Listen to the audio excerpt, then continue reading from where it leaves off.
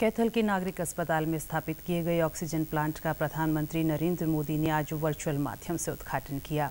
महिला एवं बाल विकास राज्य मंत्री कमलेश ढांडा ने इस कार्यक्रम में बतौर मुख्य अतिथि शिरकत की।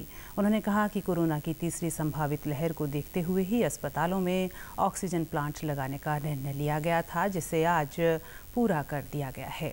उन्होंने कहा कि प्रधानमंत्री नरेंद्र मोदी के संवैधानिक पद पर सेवा काल के 20 वर्ष भी पूरे हो चुके हैं और इस दौरान उन्होंने बिना रुके प्रतिदिन 18-20 घंटे जनता की सेवा के लिए काम किया है।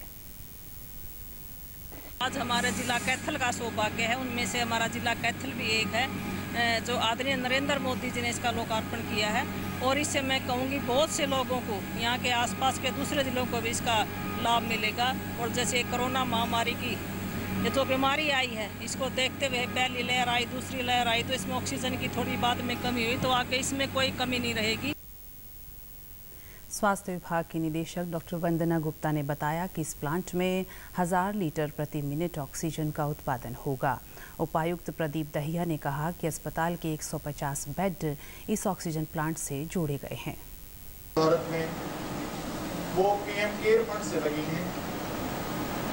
माननीय प्रधानमंत्री जी ने पूरे देश के लिए फंड्स का एलोकेशन किया। उसमें वेतन का सौभाग्य था। इन फंड्स के माध्यम से हमारे यहाँ पी एस ये 1000 एलपीएम का प्लांट है उसका मतलब है कि 1000 लीटर्स पर मिनट ये ऑक्सीजन जनरेट करेगा। तो अगर 10 लीटर पर मिनट ऑक्सीजन की पेशेंट की रिक्वायरमेंट है तो 100 ऐसे पेशेंट एक टाइम पे ऑक्सीजन दे सकते हैं। स्थानीय निवासियों ने कहा कि अब कैथल ज़िले के लोगों को चिकित्सा ऑक्सीजन की कमी नहीं रहेगी। उन्होंने संवैधानिक पद पर कार्यकाल के 20 वर्ष पूरे होने पर प्रधानमंत्री नरेंद्र मोदी को शुभकामनाएँ दी। और यहाँ के वासियों का सौभाग्य है कि यहाँ गैस प्लांट ये लगाया गया है, जो ऑक्सीजन की एक मिनट के अंदर एक हज़ार लीटर उत्पादन के साथ बहुत बड़ी सौगात है हरियाणा के कैथल वासियों को देने वाला है।